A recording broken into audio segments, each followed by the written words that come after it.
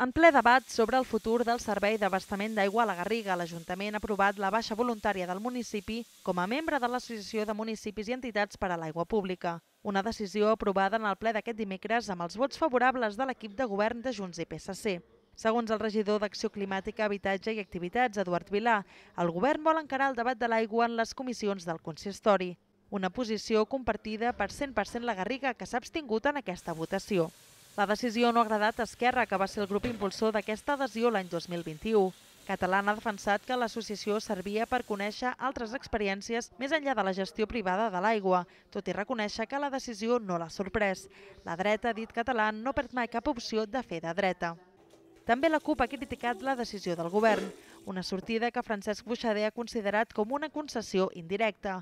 El portaveu de la CUP ha demanat més explicacions al govern i ha recordat que hi ha diversos informes que aconsellen optar per la municipalització. Sigui com sigui, la Garriga deixa de formar part de l'Associació de Municipis i Entitats per l'Aigua Pública, una baixa que suposarà un estalvi de 600 euros anuals. Mentrestant, el temps continua corrent.